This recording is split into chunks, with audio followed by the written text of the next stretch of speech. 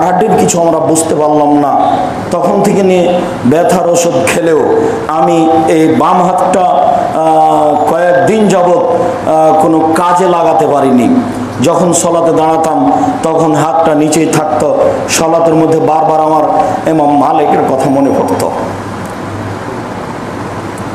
এমাম মালিক ঠিক মতো বুকে হাত মারতে পারতেন না। অত্যাচারীরা মেরে তার হাতগুলিকে বিকলঙ্গ করে দিয়েছে।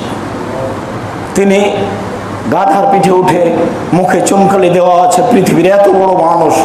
তখন তিনি বলছিলেন, পৃথিবীর মানুষ, তোমরা যারা চিনো, তারা চিনো আমি এমাম মালিক। যারা চিনো না, তারা শুনে নাও আমি এমাম মালিক। আমি যে ফটো দিয়েছি সেই ফটো থেকে আমাকে ফিরে আসতে হবে না। আমি বলিনি ভেঙে দেওয়ার কথা আমি বলিনি। মোহাম্মদ সাল্লাম বলেছে কাজ করেছ। আমি অনুমান করছি পাঁচ সাতজন যুবক তোমরা, তোমাদের বয়স চব্বিশ, ছাব্বিশ বছর হতে পারে। তোমরা এই কাজ করনি। তোমাদেরকে যে ব্যবহার করছে তারা এই কাজ করেছে। তোমরা কি বুঝো দিন ধর্মের? কি করে তোমাকে যারা ব্যবহার করে, তোমাদের বস যারা তোমাদের পীর যারা, তারা তোমাদেরকে কীভাবে ব্যবহার করতে পারে? একজন মানুষকে এভাবে মারতে হবে। তারপর এই সমাজের আলেন শুধু তাই নয়, আল্লাহ আল্লাহ কখন আমি নিজেকে জাতির জাতীয় সম্পদ মনে করি না। আমি কখনো বলিনি আমি জাতির জাতীয় সম্পদ। আমি বলেছি, আমি কচুর পাতার পানি কচুর পাতার পানি, যেই পাতা নড়লেই পানিতে টলমল টলমল কখন পড়ে যাবে, আমি নিজেকে কখনো আমার ভিত্তি হিসাবে জাতির কাছে পেশ করিনি। আমি বলেছি, জাতির জাতীয় সম্পদ জামিয়া সালাফিয়া। জামিয়া সালাফিয়ার মাধ্যমে এদেশের অন্যায়ের বিরুদ্ধে লড়তে চাই, মুখে কলমে মিডিয়ে তুমি কি মনে করেছ? আমার সম্পদ নয়। তাকে তো তুমি যদি হত্যা করো। জামিয়া সালাফ এরকম লাখো হাজারো ছেলে জন্ম দিবে যারা এ দেশের মাটিতে অন্যায়ের বিরুদ্ধে লড়বে মুখে কলমে মিডিয়ে সেদিন তোমার কবর পাকা হয়ে উঁচু হয়ে পথঘাট থাকবে না, এটাই তুমি মনে করিও। তাই আমি জাতিকে বলে যাচ্ছি, সম্মানিত দিনী ভাই বোন কোন সময় আপনারা জামিয়া সালাফিয়াকে সাধারণ কিছু ভাববেন না। জামিয়া সালাফিয়া হচ্ছে জাতির জাতীয় সম্পদ। জামিয়া সালাফিয়া ডাঙ্গিপাড়া পাওয়ার চাই জামিয়া সালাফিয়া রূপগঞ্জ, নারায়ণগঞ্জ, ঢাকা, এই দুই প্রতিষ্ঠানে এখন প্রায় সাড়ে তিন হাজার ছেলে মেয়ে পড়াশোনা করে। যাদের বেতন লাগে শিক্ষক, শিক্ষিকা প্রায় বিশ লক্ষ।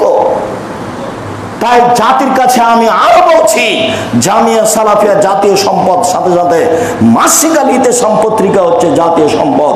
আমি বেঁচে থাকি, মরে যাই, তাতে আসে যায় না। জাতিকে আমার জন্য কান্নাকাটি করতে হবে, আমি নয় একা। আমি দুনিয়া থেকে চলে গেলাম। এরকম মাদ্রাসা এরকম হাজার তার চেয়ে শক্তিশালী সম্পদ তৈরি করবে, সেটাই হলো জামিয়া সালাফিয়া। সেটাই হলো মাসিক আল ইতে সম্পত্রিকা যার জন্য আমি নিজেকে কখনো জাতীয় সম্পদ মনে করি না। যার জন্য আমি সবসময় বলতে চাচ্ছি, আমি মরে যাই আসে যাই মরে যাই বেঁচে থাকি তাতে আসে যায় না জাতি যেন যে জাতীয় সম্পদ এই জামিয়া সালাফিকে কখনো ছোট না, ছোট চোখে না দেখে, সেটা যেন জাতির কাছ থেকে হারিয়ে না যায়, এটাই আমার দাবি। সম্মানিত তিনি ভাই বোন আমি আপনাদেরকে সময়ে সময়ে জামিয়া সালাফের কথা বলেই আগ্রহী করতে চাই।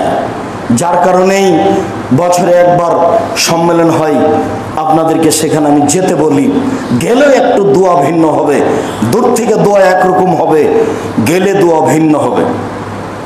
যখন আপনি দেখবেন, তখন আপনার মনটা বড় হয়ে যাবে। যখন আপনাকে আমি দেখাবো যে সাড়ে পাঁচশো ছশো শতক জমি কিনতে চাচ্ছি, এটা হবে প্রায় তিরিশ বিঘা জমির উপরে, তেত্রিশ শতকের বিঘাই, প্রায় তিরিশ বিঘা জমির উপরে এই প্রতিষ্ঠান হবে। এই দেশে মহাভারতে ভারত, বাংলাদেশ, পাকিস্তানে সঠিক আকিদা আদর্শের লোকের সবচেয়ে বড় প্রতিষ্ঠান হবে ইনশাআল্লাহ। এবং সেখানে নির্মাণ হবে, ইনশাল্লাহ একসাথে পাঁচ হাজার বা দশ হাজার মুসল্লি একসাথে সলাত আদায় করতে পারবে। বরং পাক ভারতে, ভারত, বাংলাদেশ, পাকিস্তানে সঠিক আকিদার সবচেয়ে বড় মসজিদ তৈরি হবে আপনার বাড়িতে আশা করছি আমি, ইনশাল্লাহ। এটা হবে হবে। আমার হাতে টাকা নেই কথা সত্য।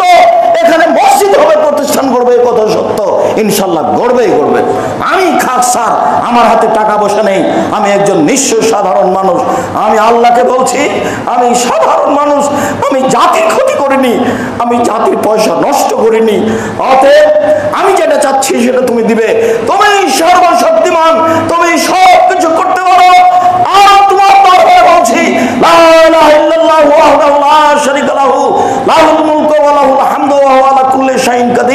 আল্লাহ ছাড়া কোনো মাবুদ নেই। প্রশংসা তার সর্বশক্তিমান তিনি।